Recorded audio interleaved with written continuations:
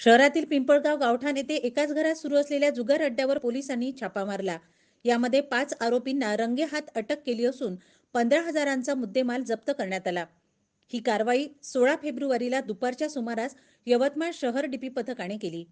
महादेव बाळकृष्ण जुनघरे सुभाष दशरथ रामटेके गिरधर देवीदास राहुल प्रफुल रामदास भारसाकळे मनोज शांताराम राऊत सर्व राहणार पिंपळगाव गावठाण यवतमाळ असे अटक करण्यात आलेल्या आरोपींची नावे आहेत.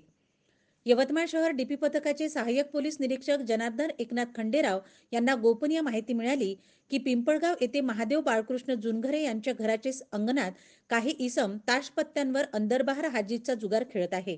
या माहितीवरून त्यांच्या पथकाने शासकीय वाहनाने पिंपळगाव येथे महादेव जुनघरे यांच्या घरासमोर धाड मारली.